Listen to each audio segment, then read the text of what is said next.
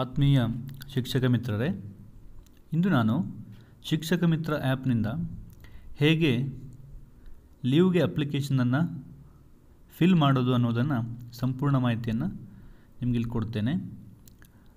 ನಾನು ಮೊದಲೇ ವಿಡಿಯೋದಲ್ಲಿ ಹೇಳಿದ್ದೆ, ಇವೆಲ್ಲವನ್ನು ನಾನು ಮುಂದಿನ ವಿಡಿಯೋದಲ್ಲಿ ಹೇಳ್ತೀನಿ ಅಂತಂದು.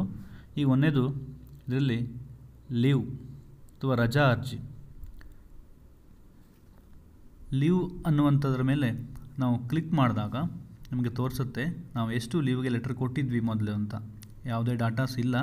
ಹೊಸ ಆ್ಯಪ್ ಆಗಿರೋದ್ರಿಂದ ಯಾವುದೇ ಡಾಟಾಸ್ ಇಲ್ಲ. ಪಕ್ಕದಲ್ಲಿರುವಂಥ ಪ್ಲಸ್ ಮಾರ್ಕನ್ನು ಕ್ಲಿಕ್ ಮಾಡಿದಾಗ ಎಲ್ಲ ಮಾಹಿತಿಯನ್ನು ತೋರಿಸುತ್ತೆ. ಟೈಪ್ ಆಫ್ ಲೀವ್ ಸೆಲೆಕ್ಟ್ ಮಾಡಬೇಕು ನಾವು. ಕ್ಯಾಶುಯಲ್ ಲೀವ್ ಬೇಕಾ? C L O committed leave department examination leave earned leave E L ಈ ಥರ ಯಾವ ಥರದ ಲೀವು ನಮಗೆ ಬೇಕು ಅನ್ನೋದನ್ನು ನಾವು ಕ್ಲಿಕ್ ಮಾಡಬೇಕಾಗತ್ತೆ. ಆಮೇಲೆ ಕೆಳಗೆ ಡೇಟ್ ಯಾವ ಡೇಟ್ನಿಂದ ಟು ಡೇಟ್ ಯಾವ ಡೇಟ್ನವರೆಗೆ ನಮಗೆ ರಜೆ ಬೇಕು? ಎಷ್ಟು ದಿನ? ಅಲ್ಲಿ ಎಷ್ಟು ದಿನ ಅಂತ ನಾವು ಸೆಲೆಕ್ಟ್ ಮಾಡಬೇಕಾಗತ್ತೆ.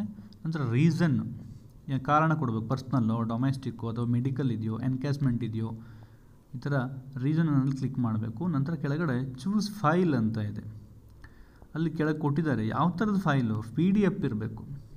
ಪಿ ಡಿ ಎಫ್ ಫೈಲ್ ಮಾತ್ರ ತೊಗೊಳುತ್ತೆ. ಖಾಲಿ ನಾವು ರಜೆ ಚೀಟಿದು ಫೋಟೋ ಆದರೆ ತಗೊಳ್ಳಲ್ಲ ನಂತರ ಕೆಳಗೆ ರಿಮಾರ್ಕಲ್ಲಿ ಬರೀಬೇಕು. ಏನು, ಯಾರಿಗೆ ಅನ್ನುವಂಥದ್ದನ್ನು ಕೂಡ ಒಂದು ಎರಡು ಲೈನಲ್ಲಿ ಬರಿಬೋದು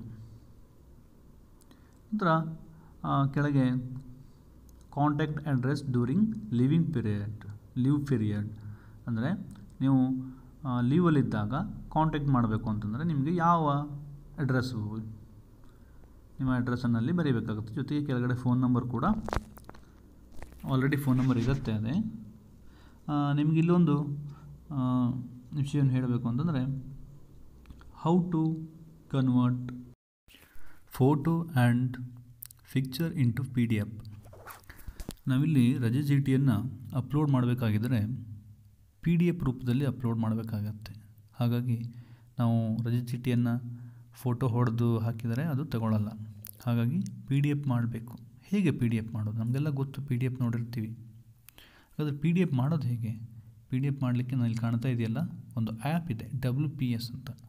ತುಂಬ ಸರಳವಾಗಿ ಬಳಕೆ ಮಾಡಲಿಕ್ಕೆ ಶಿಕ್ಷಕ ಸ್ನೇಹಿ ಆ್ಯಪ್ ಇದು ಡಬ್ಲ್ಯೂ ಪಿ ಎಸ್ ಈ ಆ್ಯಪನ್ನು ಪ್ಲೇಸ್ಟೋರಿಂದ ಡೌನ್ಲೋಡ್ ಮಾಡಿಕೊಂಡು ಪಿ ಡಿ ಎಫ್ ಆಗಿ ಸುಲಭವಾಗಿ ಮಾಡಲಿಕ್ಕೆ ಸಾಧ್ಯ.